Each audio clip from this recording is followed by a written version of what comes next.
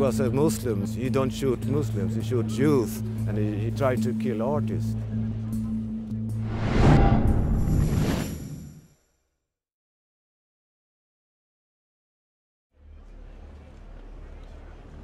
On Saturday, February the 14th, a gunman opened fire on a cafe in Copenhagen, killing one man and injuring three policemen before fleeing from the scene. The cafe was hosting a debate on free speech. The event was attended by Lars Vilks, controversial cartoonist, famous for his drawings of the Prophet Muhammad. At 1 am, the shooter reappeared, killing a Jewish volunteer guard outside a synagogue. After a citywide manhunt, the gunman was located and shot dead by police. He was identified as Omar Abdul Hamid Al Hussein, a 22 year old Muslim man who has just been released from prison. Vice News arrived in Copenhagen to see how Denmark would respond to the attack. Angrebet var rettet mod en konference for ytringsfrihed, mod jøder og mod politiet. Hvorfor det? Fordi der ikke er plads til ytringsfrihed i islam. Troende muslimer betragter deres religion og profet som ufejlbarlig. Kritik af islam, og især af Mohammed, skal ifølge islamisk sharia derfor straffes med døden. Det kan enhver læse i Koranen og haditterne.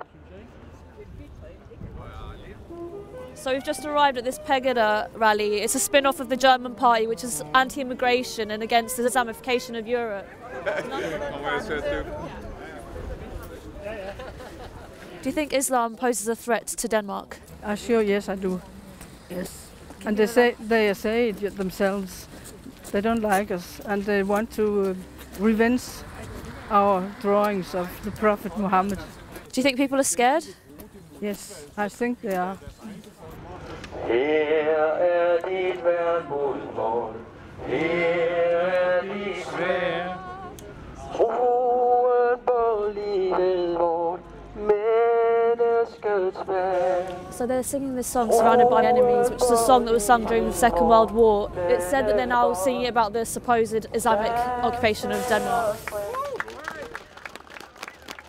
So I understand you were at the event that was shot at on Saturday.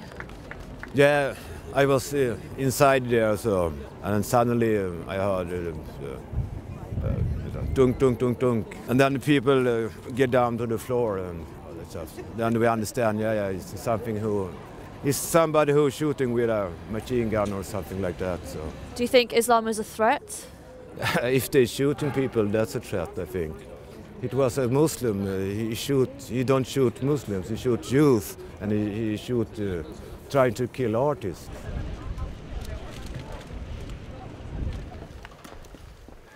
We're in the city centre of Copenhagen. We're going to a synagogue where a gunman opened fire in the early hours of Sunday morning, killing one member of the community.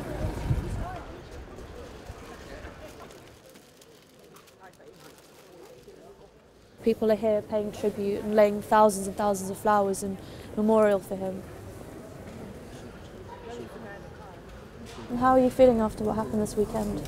I'm really um, afraid that this will mean a loss of love and that it will foster more hatred. And that's actually why I'm crying. I was just standing there and I was just feeling so sorry for those people that, because it generates so much hatred. For me, this is, has nothing to do with freedom of speech. This has something to do with love, and I'm really afraid the way that this can be used in a kind of a political context. It's a wrong way to see this because, come on, this is just about fucking maniac who has killed some people. Would you say there was any signs of that before this? Yeah, it's been an ongoing process like the past 10 years. You see the, how many voters the right-wing parties they get all over Europe. It's a tendency, and this just makes it worse. As a result of the attack, leaders of Denmark's small Jewish community held a press conference. We advise that there should be police at the synagogue when there is a service or, or whether there is a, a, a large gathering in the community center.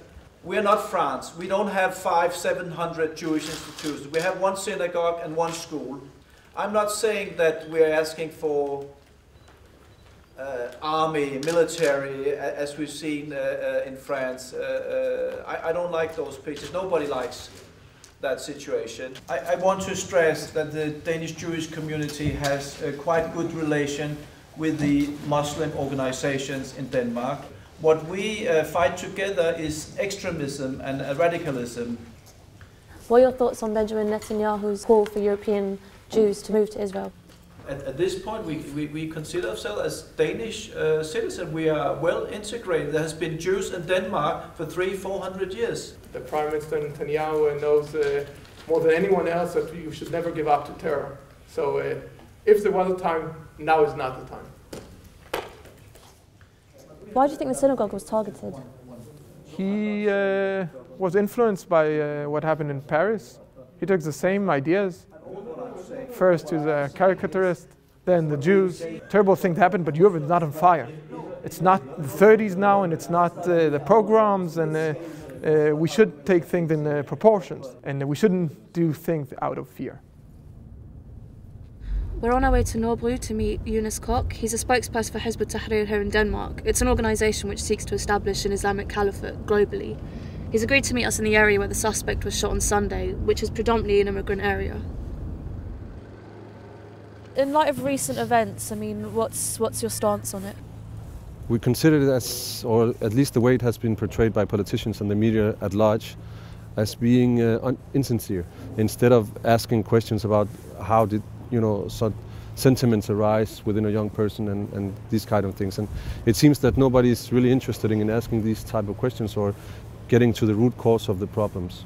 Would you say before this there was any sort of anti-Muslim sentiment, or has this been building up, or There has been an increasing Islamophobia, which has been driven uh, by primarily by politicians, and it has been, you know, uh, spread widely by uncritical media. They are creating a, a ghost that does not exist by presenting a narrative that says that all Muslims and Islam per se is violent and therefore a threat towards the Western populations. And if you are anti, uh, anti-democratic, then per se you are in a category where you pose a threat. All these things, when you, you interfere in how Muslims uh, raise their children, you interfere in their daily lives, you do all these things under the pretext of security, national security. When you push people that far, sometimes you will have a, a reaction. And sometimes undignified actions, they get undignified reactions. These shootings have come 10 years after a Danish newspaper published 12 cartoons of the Prophet Muhammad, kicking off deadly protests across the Arab world. Today, Danish intelligence worries that Muslim communities at home are radicalising. We went to meet the former head of Danish intelligence to ask about the broader security implications of the attack.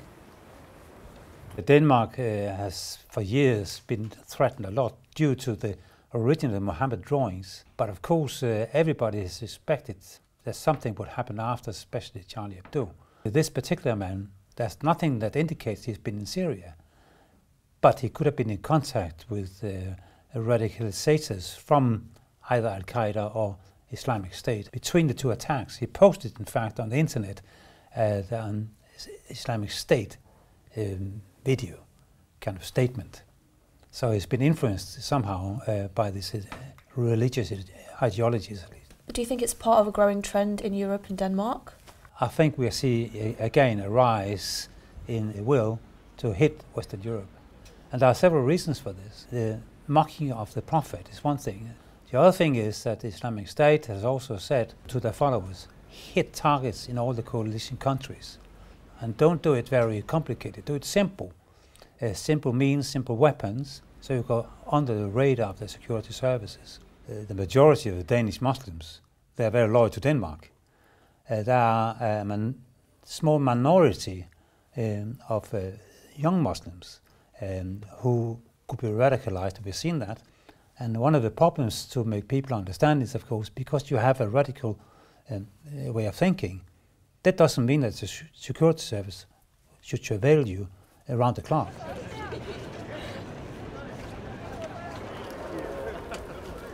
So we've just arrived at the memorial rally, and there's a massive mix of people. You've got families here, you've got younger people. The security here is really on top of it as well. We've got helicopters overhead and tons and tons of police here to secure the area.